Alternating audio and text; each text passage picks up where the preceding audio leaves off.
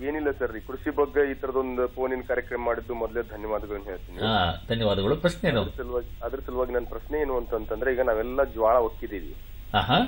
ಜ್ವಾಳ ಈ ವರ್ಷ ತುಂಬಾ ಬಂದಿದೆ. ಆಹಾ. ಅದಕ್ಕೆ ರೇಟ್ ಇಲ್ಲ. ಆಹಾ. ಆದ್ರೆ ನಮ್ಮ ಹಗೆಕ ಪ್ರತಿ ವರ್ಷ ಹಗೆ ಅಂತಿರ್ತಾವ ಹಗೆಕ್ ಹಾಕ್ತಿದ್ವಿ. ಆಹಾ. ಈಗ ಹಗೆ ಹಗೆದೊಳಗೆ ಏನಾಗ್ಲಿಕ್ಕತ್ತದ ಅಂತಂದ್ರೆ ಅದು ಬೆಳ್ಳಗಾಗಿ ಕನಿಷ್ಠ ಒಂದು ನಾವು ಒಂದು ಹತ್ತು ಹದಿನೈದು ಚೀಲ ಹಾಕಿದ್ರೆ ಅದ್ರಾಗ ಒಂದ್ ಎರಡ್ ಮೂರ್ ಚೀಲ ಲುಕ್ಷನ್ ಆಗ್ಬಿಡುತ್ತೆ. ಹ್ಮ್ ಹ್ಮ್ ಹ್ಮ್ ಹ್ಮ್. ವಾಸನೆ ಆಗುತ್ತೆ. ಹ್ಮ್ ಹ್ಮ್. ನಾವು ವೇರ್ ಹೌಸ್ ಹೋಗಿ ಹೋಗಿ ಕೇಳಿದ್ರೆ ಅವ್ರು ಏನ್ ಹೇಳ್ತಾರಂದ್ರೆ ಸರ್ ಜಾಗ ಎಲ್ಲ ತುಂಬಿಟ್ಟಿದೆ ಅಂತ ಹೇಳ್ತಾರೆ. ಮನೆಯಾಗ ಇಡೋದಕ್ಕೆ ಸಾಧ್ಯ ಇಲ್ಲ. ನಾವೇನು ಬೋರಿಕ್ ಪೌಡರ್ ಯಾವ್ದೇ ಹಾಕಿಟ್ರು ಕೂಡ ಅಷ್ಟನ್ನ ಒಂದು ಇನ್ನೂ ಮೂವತ್ನಾಲ್ಕು ಗ್ರಾಮ್ ಇಟ್ಕೊಳ್ಳೋದು ತುಂಬಾ ಕಷ್ಟ. ಇನ್ನೊಂದು ಈಗ ನಾವು ಹರಗಸಿಂದ ಇಟ್ಟಿದ್ದೇವೆ. ಅದೇನಾಗಿದೆ ಅಂದ್ರೆ ಈಗ ಅದು ತಗಡಿನ ತಾಟು. ಆ ತಗಡಿನ ತಾಟ್ನೊಳಗ ಇಟ್ರೆ ಅದು ಡಂಕಿ ಆಗ್ತತಿ ಡಂಕಿ ಆಗ್ತತಿ ಅಂತಾರೆ. ಆದ್ರೆ ವೀರೋಜ್ ಹೋದ್ರೆ ಜಾಗ ಇಲ್ಲ ಅಂತಾರೆ. ಅಲ್ಲ ನಿಮ್ ಪ್ರಶ್ನೆ ಅರ್ಥ ಆಯ್ತು ಈಗ ಹಿರೇಮಠ ಅವ್ರೆ ಅಲ್ಲಲ್ಲ ಇನ್ನೊಂದು ಪ್ರಶ್ನೆ ಕೇಳ್ಬಿಡ್ತೀನಿ.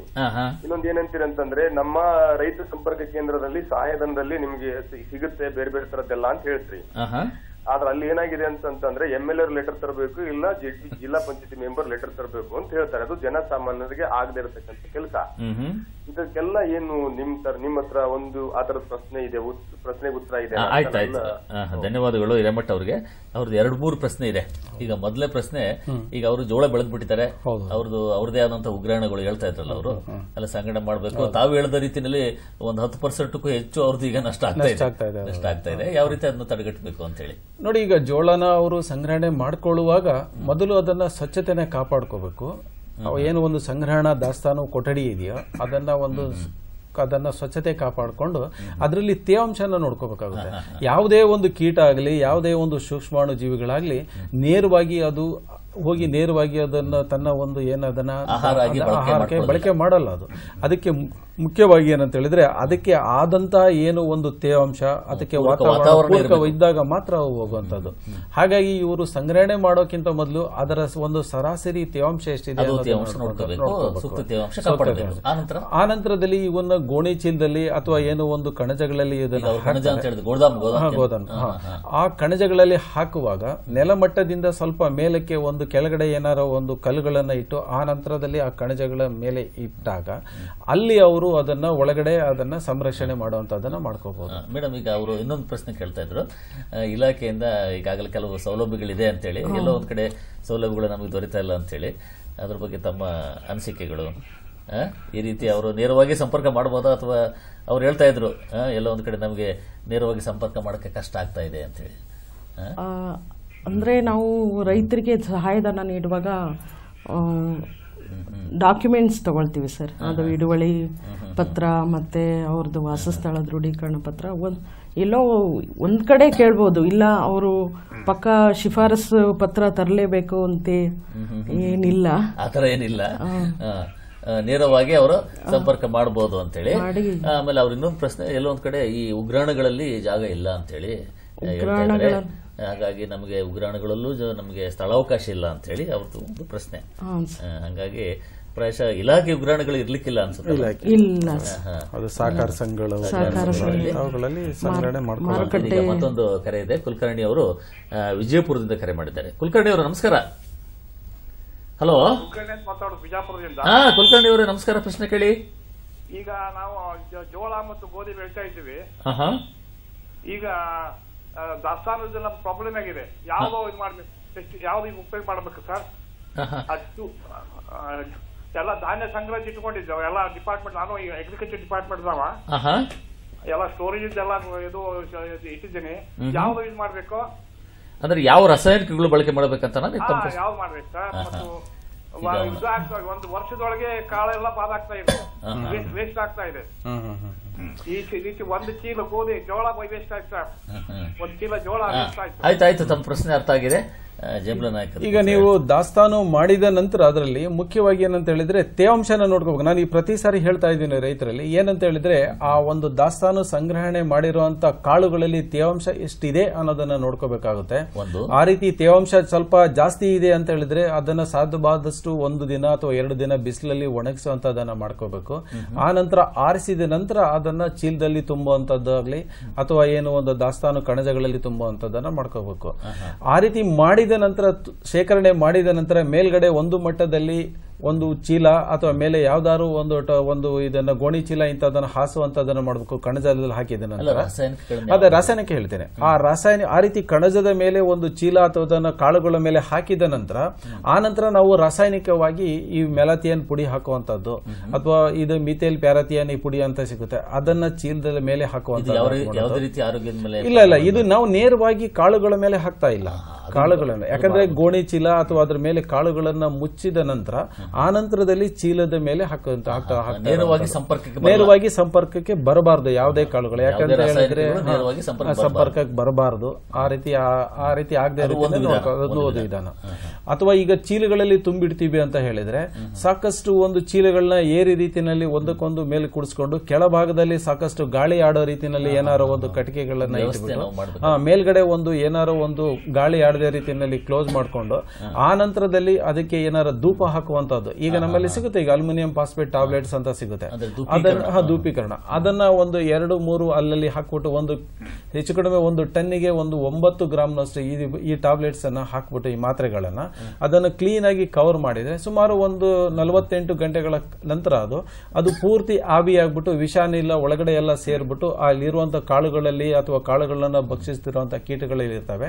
ಅವುಗಳನ್ನ ಸಂಪೂರ್ಣ ನಾಶ ಮಾಡುತ್ತೆ. ಆರೋಗ್ಯದ ಮೇಲೆ ಆರೋಗ್ಯದ ಮೇಲೆ ಯಾವುದೇ ರೀತಿಯ ಪರಿಣಾಮ ಆಗಲ್ಲ ಇದೀಗ ಮತ್ತೊಂದು ಕರೆ ಇದೆ. ನಾಗರಾಜ್ ಅವರು ಕರೆ ಮಾಡಿದ್ದಾರೆ. ನಾಗರಾಜ್ ಅವರು ನಮಸ್ಕಾರ. ಹಲೋ ಸರ್ ನಮಸ್ಕಾರ ನಾಗರಾಜ್ ಅವರು ಪ್ರಶ್ನೆ ಕೇಳಿ.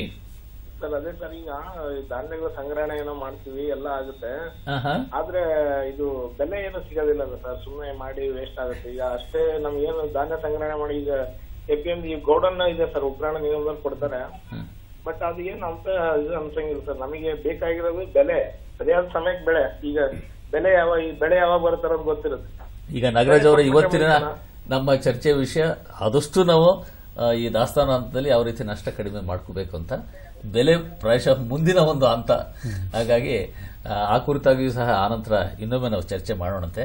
ಈಗ ಮೇಡಮ್ ಅವ್ರಿಗೆ ಪ್ರಶ್ನೆ ಏನು ಅಂತ ಹೇಳಿದ್ರೆ ಈಗ ಸಂಗಣ ಬಗ್ಗೆ ಒಂದು ಸಾಕಷ್ಟು ಪ್ರಶ್ನೆ ಬರ್ತಾ ಇದೆ. ಎಲ್ಲ ಒಂದ್ ಕಡೆ ಪ್ರಶ್ನೆಗಳು ನೋಡ್ತಾ ಇದ್ದಾಗ ಈ ಸಮಸ್ಯೆ ಬಹಳ ತೀವ್ರವಾಗಿದೆ ಅನ್ನೋದು ಸಹ ನಮ್ಗೆ ಗೊತ್ತಾಗ್ತಾ ಇದೆ.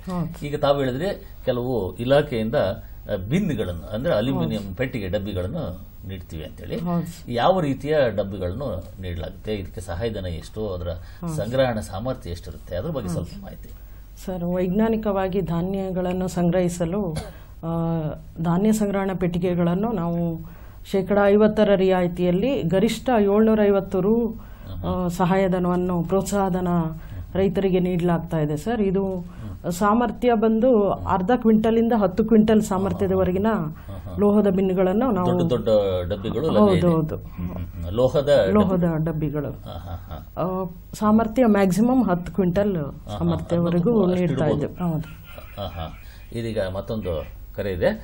ಧಾರವಾಡದಿಂದ ಅಕ್ಬರ್ ಅವರು ಕರೆ ಮಾಡಿದ್ದಾರೆ. ಅಕ್ಬರ್ ಅವರೇ ನಮಸ್ಕಾರ. ನಮಸ್ಕಾರ ಸರ್. ಹಾ ಪ್ರಶ್ನೆ ಕೇಳಿ ಅಕ್ಬರ್ ಅವರೇ. ಸರ್ ನಾವು ಧಾರವಾಡ ಜಿಲ್ಲೆ ಹುಬ್ಳಿ ತಾಲೂಕಿನಿಂದ ಸರ್ ಗ್ರಾಮ ಕೋಯವಾಡ ಗ್ರಾಮದ್ದು. ಹಾ ಸರ್ ನಮ್ಮ ಗ್ರಾಮದಲ್ಲಿ ಇದೆ ಯಾವುದೇ ರೀತಿಯಿಂದ ನಮ್ಮ ಧಾನ್ಯಗಳನ್ನ ಸಂಗ್ರಹ ಮಾಡ್ಲಿಕ್ಕೆ ಒಂದು ಯಾವುದೇ ಒಂದು ವ್ಯವಸ್ಥೆ ಇಲ್ಲ.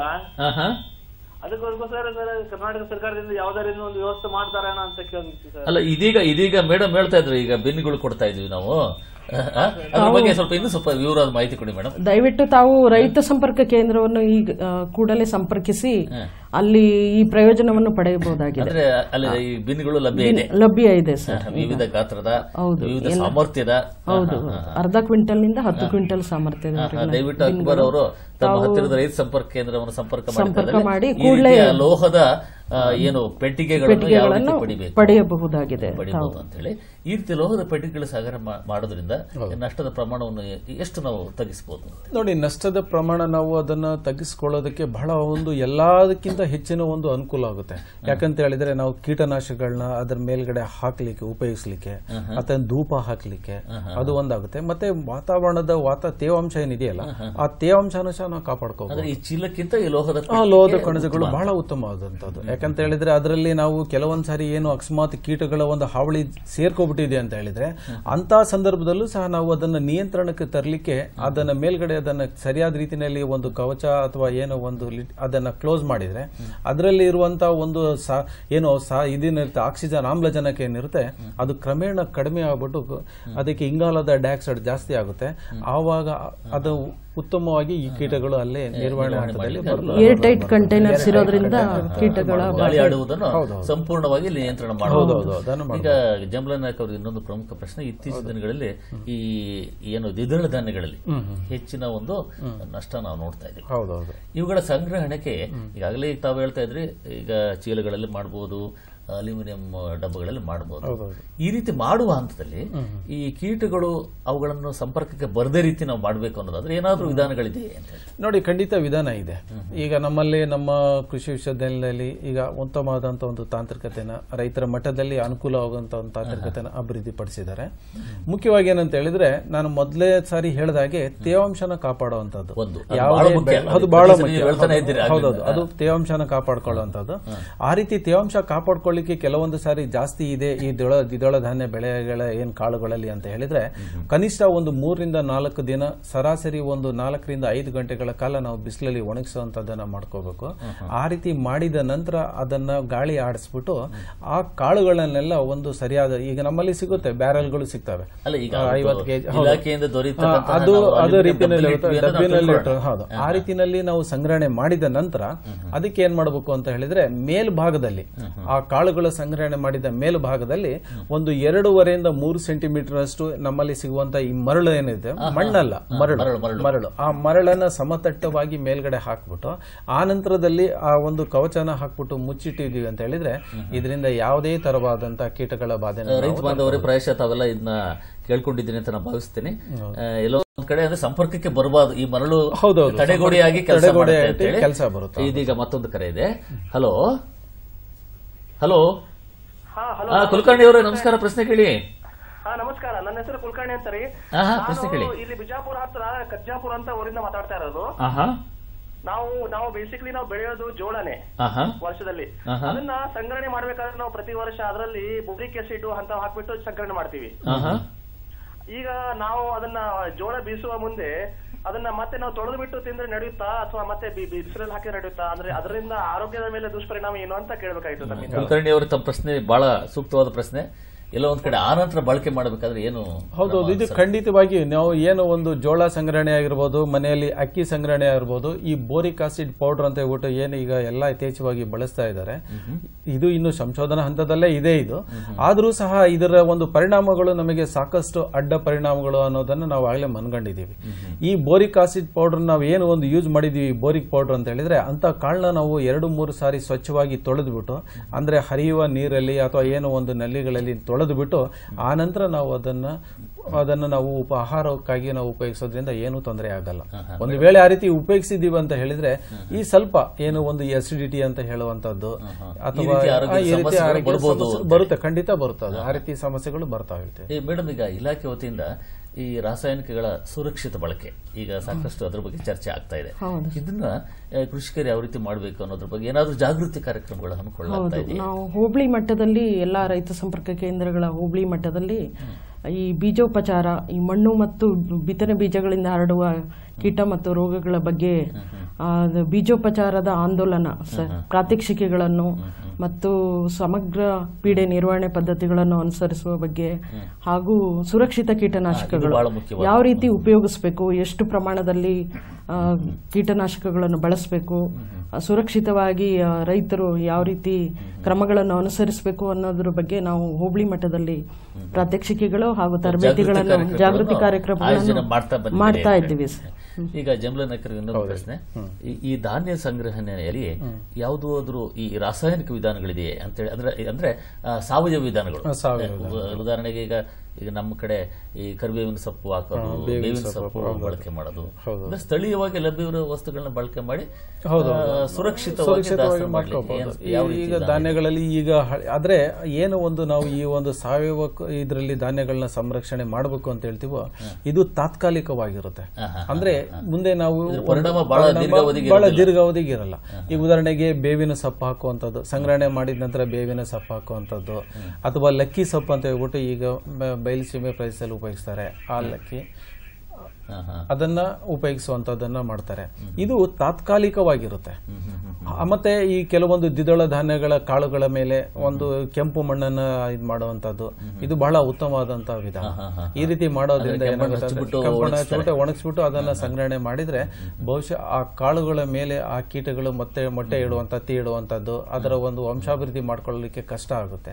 ಹಾಗಾಗಿ ಇದನ್ನ ದೀರ್ಘಕಾಲಿಕವಾಗಿ ನಮಗೆ ಪರಿಣಾಮ ಸಿಗಬೇಕು ಅನ್ನೋದಾದ್ರೆ ಈಗ ತಾವು ಹೇಳಿದ ರೀತಿಯಲ್ಲಿ ಸುರಕ್ಷಿತ ರಾಸಾಯನಿಕಗಳ. ಬಳಸ್ಕೋಬೇಕು. ಅಲ್ಪಾವಧಿಗೆ ಸ್ಥಳೀಯವಾಗಿ ಲಭ್ಯವಿರತಕ್ಕಂಥ ಸಾವಯವ ಸಾವಯವ ವಿಧಾನಗಳನ್ನು ಸಹ ಅನುಸರಿಸಬಹುದು ಅಂತ ಹೇಳಿ ರೈತ ಬಾಂಧವರೇ ಇವತ್ತಿನ ದಿನ ತಾವು ಸಾಕಷ್ಟು ವಿಷಯಗಳು ತಿಳ್ಕೊಂಡಿದ್ದೇನೆ ಅಂತ ನಾವು ಭಾವಿಸಿದ್ದೀವಿ.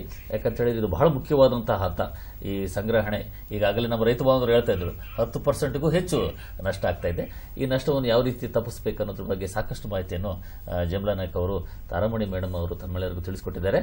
ಆನಂತರ ಸಹ ಅವರನ್ನು ಸಂಪರ್ಕಿಸಿ ಹೆಚ್ಚಿನ ಮಾಹಿತಿ ಪಡೆಯಬಹುದು ಅಂತ ಹೇಳ್ತಾ, ಕಾರ್ಯಕ್ರಮಕ್ಕೆ ಆಗಮಿಸಿ ಇಷ್ಟೆಲ್ಲ ಮಾಹಿತಿ ತಿಳಿಸಿಕೊಟ್ಟಂತಹ ಜಯಬಲ್ ನಾಯ್ಕ ಅವರಿಗೆ ಹಾಗೂ ಮೇಡಮ್ ಅವರಿಗೆ. ನಮ್ಮ ಎಲ್ಲ ರೈತ ಬಾಂಧವರ ವತಿಯಿಂದ ಹೃತ್ಪೂರ್ವಕ ಧನ್ಯವಾದ ಧನ್ಯವಾದಗಳು.